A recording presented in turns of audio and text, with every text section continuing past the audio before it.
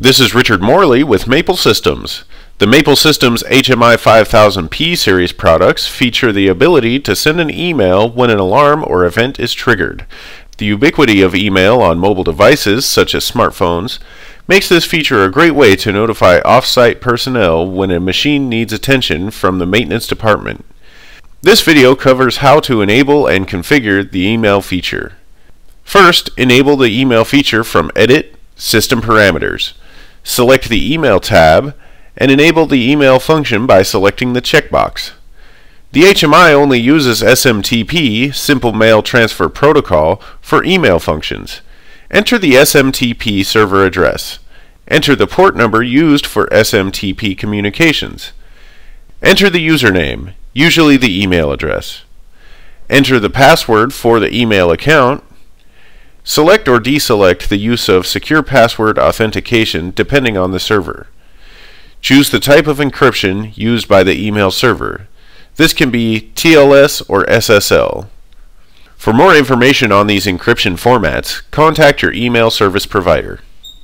The sender information can use the HMI name that is configured from the Device tab or a different name that can be entered here. The mail address is used to specify the email address that is displayed when the mail is received. With the system parameters configured for the email feature, the contacts need to be configured. Clicking on the Open Contact Settings link below the sender information will open the Contacts dialog. Contacts must be added to the contact list before they can be added to the contact group. A contact can be added to a group by selecting the group from the current group drop-down box and then selecting the contact from the contact list and clicking on the Move button. The selected contact will now turn red in the contacts list and appear in the group information frame. The email function uses groups instead of email addresses for the recipients. With the groups created, alarms and alarm emails can be configured. From the alarm event log, create an alarm by clicking on New. The priority level of the alarm will affect the priority level of the email that is sent. This can be set to low to give a low level priority and emergency to give a high level priority. The rest of the alarm is configured normally. On the Email tab, the alarm can be configured to send an email when the alarm is triggered and or when the event is cleared. Each selection is configured independently. When Send While Event Triggered is selected, the Email tab is populated with the frames that are used to configure the email that will be sent when the alarm is triggered.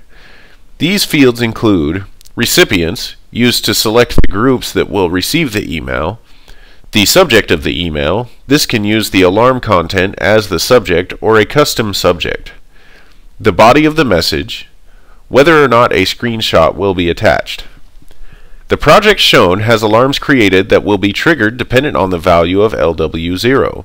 The numeric input object and the set word objects are all addressed to LW0. When the value of LW0 is increased from 0 to 1, the oven temperature low alarm is triggered and an email will be sent to Group A.